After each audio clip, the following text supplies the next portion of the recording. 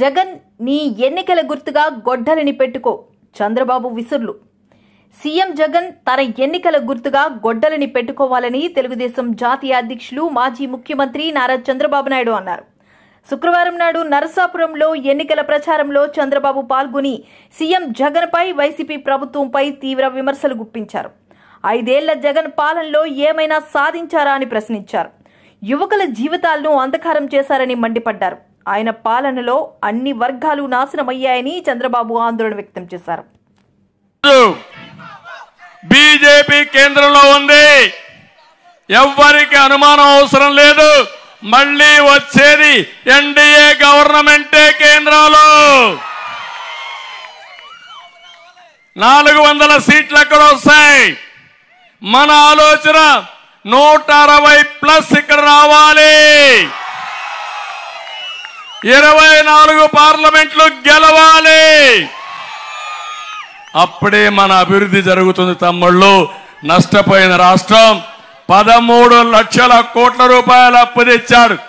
మన నెత్తిన అప్పుల కుంపటుంది నేను ఒకటి అడుగుతున్నా మిమ్మల్ని.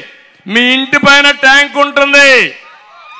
ట్యాంకులో నీళ్ళుంటే కొళాయిలో నీళ్ళు వస్తాయి అంతేనా? ట్యాంకులో నీళ్ళు లేకపోతే కొళాయిలో నీళ్ళు రావు అంతే కదా? అదే పరిస్థితి మన రాష్ట్ర పరిస్థితి. నిన్నే ఖజానా ఖాళీ అయిపోయింది. ఈరోజు ఐదో తారీఖు. ఉద్యోగస్తులకు జీతాలు వచ్చాయా తమ్ముళ్ళు అని మిమ్మల్ని అడుగుతున్నా.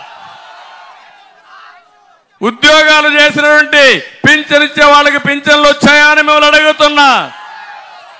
నిన్న కూడా వృద్ధులకు వికంగులు వికలాంగులకు పింఛన్లు ఇవ్వలేక డ్రామాలు ఆడి శవ రాజకీయాలు చేసిన నీచుడు ఈ జగన్మోహన్ రెడ్డి అని చెప్పి కూడా నేను మీకు తెలియజేస్తున్నా.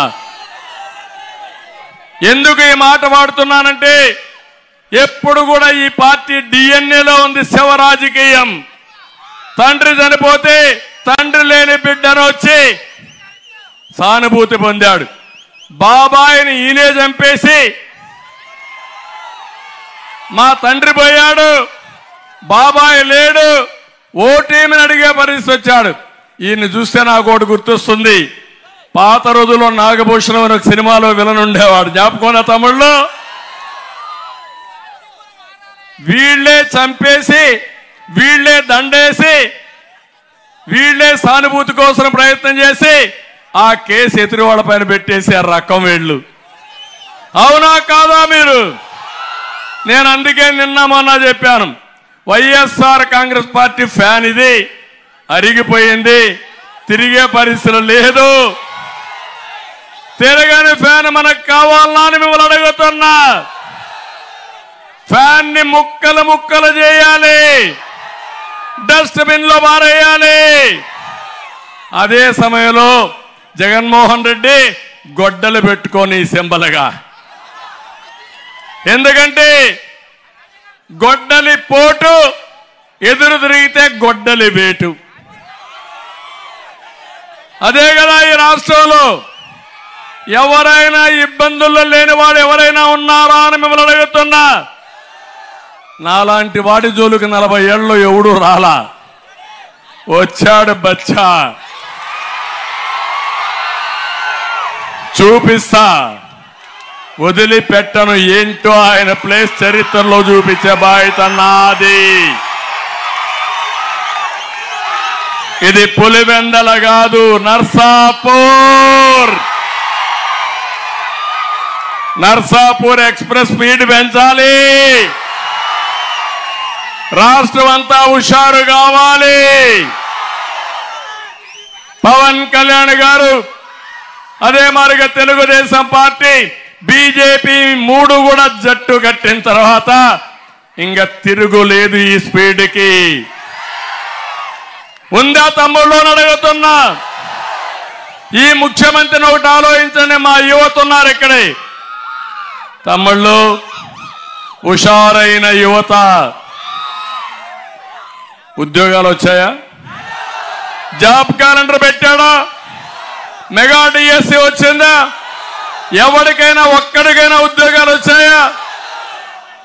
మరి ఎవ్రీడే మాట్లాడతాడు ఈ ముఖ్యమంత్రి. నేను అది చేశా ఇది చేశా అందుకే నేను చెప్తున్నా మళ్ళా జాబు రావాలంటే జాబు రావాలంటే ఎన్డీఏ రావాలి పరిశ్రమ రావాలి. అది తెచ్చే శక్తి మాకు తప్ప ఈ జలగ జగన్మోహన్ రెడ్డికి లేదు. తమ్ముళ్ళు పద్నాలుగు పంతొమ్మిదిలో పరిశ్రమలు వచ్చాయా లేదా? ఉద్యోగాలు వచ్చాయా లేదా? డిఎస్సి పెట్టావా లేదా? ఈరోజు అలాంటి రాష్ట్రంలో మిమ్మల్ని చూస్తా ఉంటే దేశంలోని ఇరవై నాలుగు శాతం అన్ఎంప్లాయ్మెంట్ ఉండే రాష్ట్రం మన రాష్ట్రం. ఇంకో పక్క అందుకే నేను చెప్పాను రేపు భవిష్యత్తులో ఇరవై లక్షల మందికి ఉద్యోగాలు